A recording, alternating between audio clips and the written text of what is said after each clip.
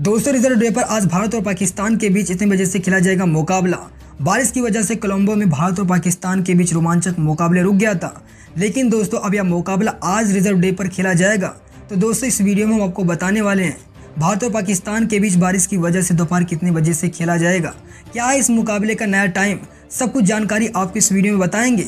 लेकिन उससे पहले आप सभी को क्या लगता है? भारत और पाकिस्तान के बीच होने वाले रोमांचक मुकाबले में कौन सी टीम जीतेगी अपनी कीमती राह हमें नीचे कमेंट बॉक्स में ज़रूर बताइएगा। दोस्तों, जैसा कि आप सभी जानते हैं कि एशिया कप 2023 के सुपर फोर के मुकाबले शुरू हो चुके हैं। पहला मुकाबला पाकिस्तान और बांग्लादेश के बीच खेला गया था, जबकि दूसरा मुकाबला कल भारत और पाकिस्तान के बीच श्रीलंका के कैंडी क्रिकेट स्टेडियम में खेला जा रहा था, जिसमें पाकिस्तान की टीम ने टॉस जीतकर पहले गेंदबाजी करने का निर्णय लिया था और भारतीय टीम को बल्लेबाजी करने का पहला मौका मिला। टीम इंडिया की तरफ़ से विस्फोटक ओपनर बल्लेबाज रोहित शर्मा और युवा खिलाड़ी सुमन गिल ने धमाकेदार अंदाज में पारी की शुरुआत की। रोहित शर्मा और सुमन गिल के बीच पहले विकेट के लिए 122 रन की एक लंबी साझेदारी हुई, जहाँ पर कप्तान रोहित शर्मा ने छह चौके और चार छक्के की बदौलत बावन रन की तूफानी पारी खेली। तो वहीं पर सुमन गिल भी कहाँ पीछे रहने वाले थे?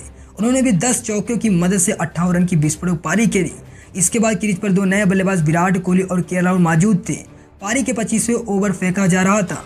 लेकिन पच्चीसवें ओवर में अचानक तेज बारिश होने लगती है और यह बारिश धीरे धीरे बहुत तेज हो जाती है। रुकने का नाम ही नहीं लेती। अंत में देर रात दोनों एम्पायर ने मिलकर यह फैसला लिया कि अब यह मुकाबला कल यानी कि आज 11 सितंबर को खेला जाएगा और उसके लिए एक नया समय निर्धारित किया जाएगा। तो दोस्तों, आपको बता दें कि भारत और पाकिस्तान के बीच यह रोमांचक मुकाबला आज दोपहर तीन बजे से खेला जाएगा। यह मुकाबला जहाँ पर कल रुका था, वहीं से आगे खेला जाएगा। यानी कि भारतीय टीम 25 ओवर से बल्लेबाजी करना शुरू करेगी। और पूरे 50 ओवर खेलेगी। और बाद में पाकिस्तान की टीम भी अपने पूरे 50 ओवर खेल के इस मैच का निर्णय लाएगी। तो दोस्तों, वीडियो पसंद आए तो वीडियो को लाइक और चैनल को सब्सक्राइब करके हमें अपना सपोर्ट ज़रूर दिखाइएगा।